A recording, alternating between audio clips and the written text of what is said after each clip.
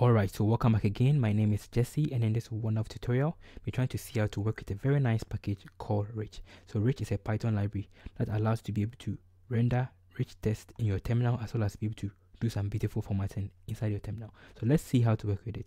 So first of all, to install it, just go with pip install rich to install rich on your system. Then in case you also want to have support for Markdown, just need to install pip install commonmark, right? So let's paste it here then I'm using Python 3 so just go with pip 3 perfect. Right that is the basic idea about how to install rich. Now let's see some various things you can do with rich. So with rich you can render some text in and, and colored text you can also render some styles can render emojis can render syntax tables markdown several other stuff. So it has finished installing so let's see how to work with it. So i'll just create my first file and i'll name this file as example.py right? So let's go to this example dot perfect. So let's see the various things you can do with rich so the first thing that you can render some text right? And the text can be colored text in various format. Then another thing you can also do is that you can also render markdown. We can also render syntax. And then finally we can also render or display tables right? So these are the three four main stuff you can do with rich so first of all let's work with text so we're just going to go with from rich dot console import the console class. So with the console class can be able to render some interesting stuff with it. So let's see the various things can do with the console class.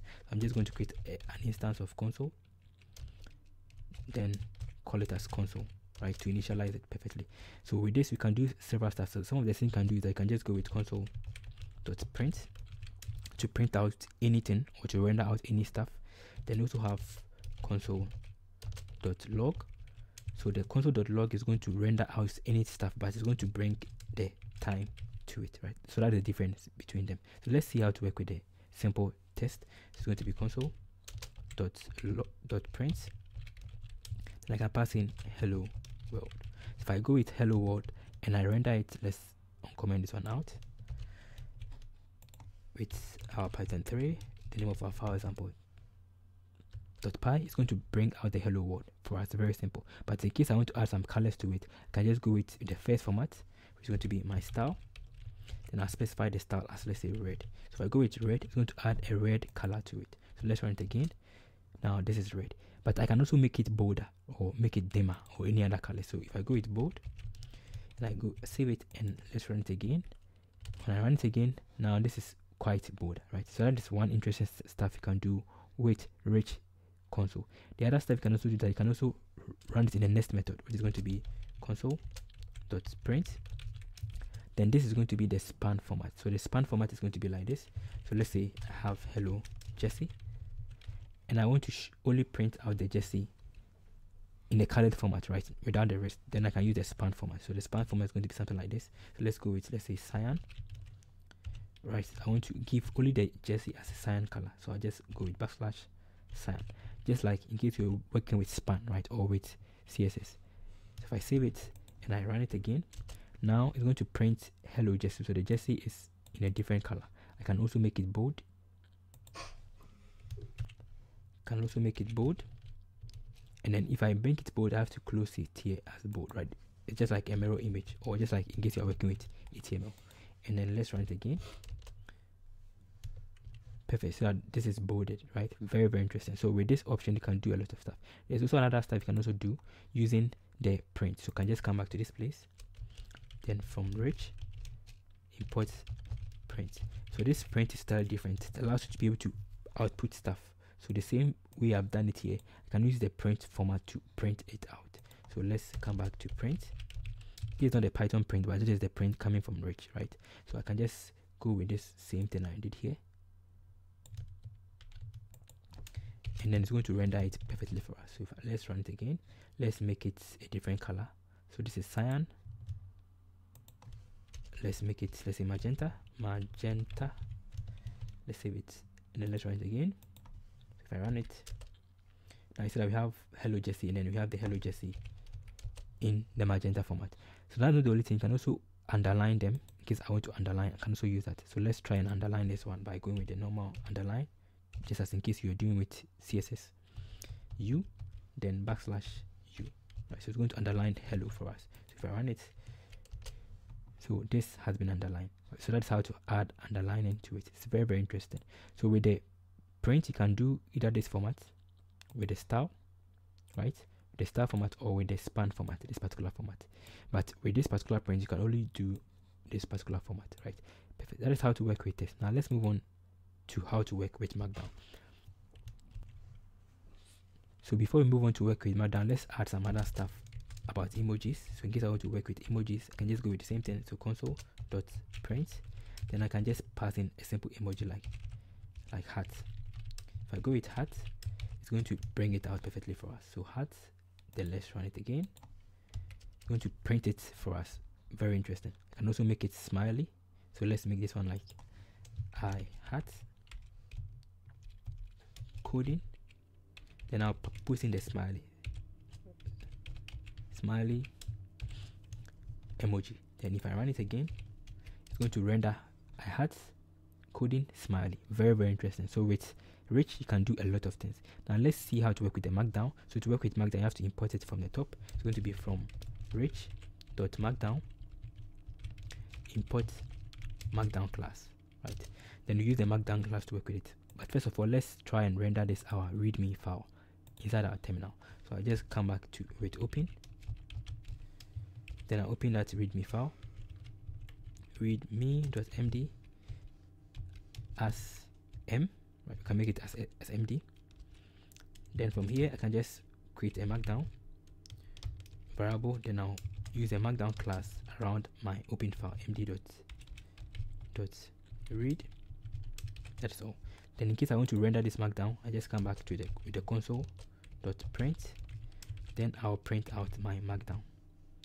Small later so if i save it and i come back here and i run it again that's going to render this our markdown. Very interesting right? Together with all the formatting and everything. So you can see that this has been rendered well. We have our rich the points then the style and the features and everything. Very very interesting and very cool perfect. That is how to work with markdown now let's move on to the next option of working with a syntax. Right so you can see that from here it was bash then it's able to render it as bash. So in case you also want to render a particular python code or any code you can just use a syntax format. So let's come to the top of our file. Then from rich.syntax import the syntax class. Then you can use the syntax class to be able to render out our syntax. So let's create a simple function. So let's go to def then let's call this function as let's say hello which takes a name and then it prints out some value so return hello then the person's name dot format right so that is going to be the code I want to render inside my terminal. So how do I do that? So I can just put this one inside a doc string. So my code inside a variable with a doc string. So my code is going to be the triple dot this particular option. Then I'll paste in this function here, right, which is a Python function. So I come back here. Now it is inside this particular format. So in case I want to render it inside my terminal, I just come back to this place and go with my console or let's create a syntax first then I'll pass in my syntax class and I'll pass in my code so if I go with this I have to specify the language by going with Python then if I print it because I want to print I can just come back again to the console dot print then send. So if I save it now and I come back and I run it again I'm going to print that our code for us. Very very interesting right? With all the colors by default. In case I want to specify a particular team, right? I can just go with the team. then I'll specify the team as mono kai right? So Monokai is a very nice theme so if I run it it's going to bring that monokai team as black right? Very interesting. So you can see that this is the default team, white and this is going to be the monokai team. that is some interesting stuff. You can also specify the number of the line. So we have one and two. So in case you want to show the line for the code you can just come back to this place and go with lines line numbers. You set that one to true. If I save it and I run it again, you can see that now we have our code. Let's come back again and run it at the top. We have our code 1 and 2. Very interesting, just as you can count from here 1 and 2. That is something very cool in case you are working with syntax. Finally, let's see how to work with tables. To work with tables, just going to import tables. So it's going to be from table from rich the table import table right then you also need to import column in case you're working with columns perfect then i'll just create a simple table class so let's call that table then i'll initialize with the table. Then i'll pass in some variables. So show header is going to be set to true to show the header. Then you can also give the header style. So header style which is going to be in a particular style that you want to be. So i want it to be let's say i want it to be bold cyan right? Or can bold magenta anyhow you want it to be. Then i want to add my or create my column. So it's going to be table dot add column. Then i pass in the column name. So the first variable is going to be the column name. So let's call it as title. Then the next one is going to be the width and a style. So this is going to be our style. And the style can be dim or can be bright or can be bold. Then you can also specify the width. So, so this is going to be the width. Then let's give it a width of 12 that is all. So in case i also want to add another column I can just copy this one here? Then let's add that column here. So let's call this one as title and let's call this one as author right? So we are just giving something very simple. You can add justification to it can justify it and all of these things.